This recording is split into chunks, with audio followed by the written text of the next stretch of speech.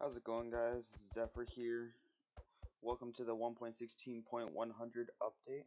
I am going to be showing you guys today how to actually make a new form of a money method or money system for your realms or servers or your worlds with your friends using the new JSON portion of commands.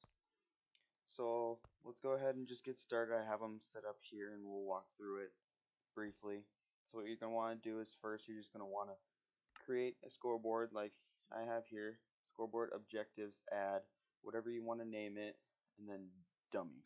It doesn't really matter to, for the what you want to name it. Um, it doesn't have to look pretty because we're going to do something else with it in one of the other commands here. So we'll just go ahead and do that slash scoreboard objectives add balance dummy.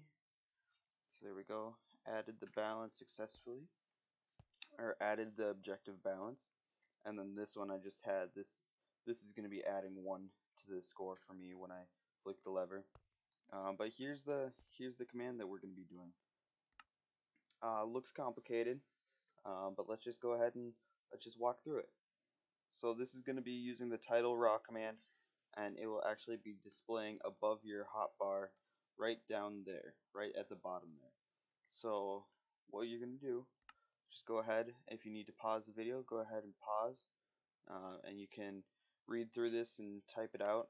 I use the uh, the squiggly S to make the colors uh, for this just to make it look a little bit nicer. You don't have to do that. But what you're going to do is title raw space at a space action bar space and then you're going to want to do the curly bracket and then in quotes raw text colon bracket curly bracket in quotes you're going to want to do text and then colon and in brackets you're going to want to put what you want it to say at the bottom. Not this is not going to be the part where your numbers displayed. For your money this is just what it's going to look like when you actually have it. Like it's going to say balance colon and then there's going to be a dollar sign and then the number comes in this next part here where you do uh, curly or comma don't forget that curly bracket in quotes you want to do score then colon curly bracket and quotes you're going to want to do name uh, colon in brackets you're going to want to put a star here. Make sure that you have the star. That is going to be crucial because then it'll show each player their own score. That's how that works the star there and we want to do comma and in quotes you're going to want to do objective and then colon and then in quotes you're going to want to do the name of your scoreboard like we did balance. Like I have balance written up here that's just don't worry about that that could be money or whatever but this is important where it says balance here that's going to be how much money or that's going to be your scoreboard uh, that it's relating to. And then you're going to want to do curly bracket curly bracket normal bracket curly bracket.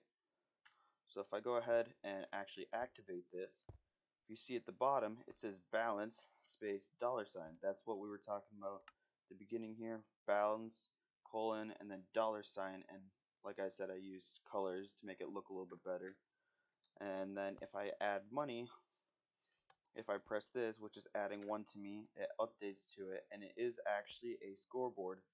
So like I just flick this up and down and then we can do scoreboard objectives uh, set display and then we'll do sidebar balance. See if you look on the side that's the balance scoreboard with my name and the number that's actually being displayed above my hotbar. I personally think that this actually is looking better because of the new patch update with some new features because I honestly think that putting it in the pause menu here is a little finicky and the scoreboard on the side of the screen over here kind of looks like garbage in my personal offense or my personal opinion.